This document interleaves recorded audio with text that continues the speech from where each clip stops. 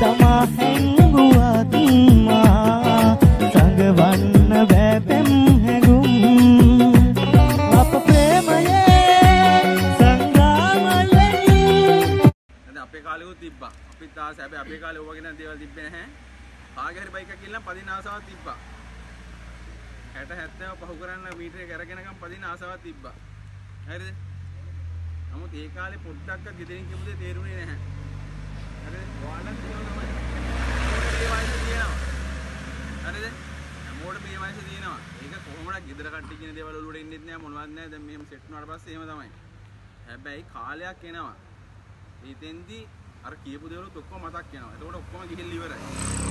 ඒ නිසා ඔළුවේ තියාගන්න හැම වෙලාවෙම මොනතරම් විනෝද වුණත් කවුරුත් එක්ක මොනතරම් ෆන් ගත්තත් ඔයාලා වෙනුවෙන් දෙන්නෙක් ගෙදර බලන් ඉන්නව එනකම්. හරිද? අද දැන් ඔයාලා ගියා කියලා කිව්වට පස්සේ ඉන්දරේ ඇති.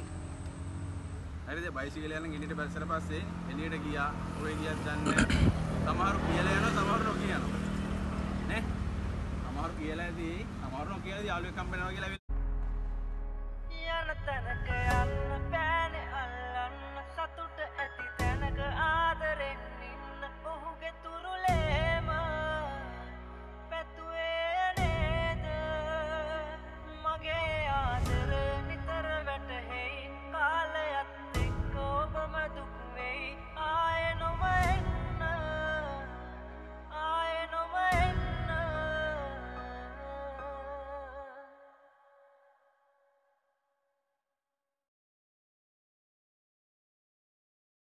ලයික් එකක් කමෙන්ට් එකක් ඔගලන් දාන්න. සබස්ක්‍රයිබ් කරලා බෙල් අයිකන් එක ඔගලා ඔබාගෙන තාගාගෙන යන්න.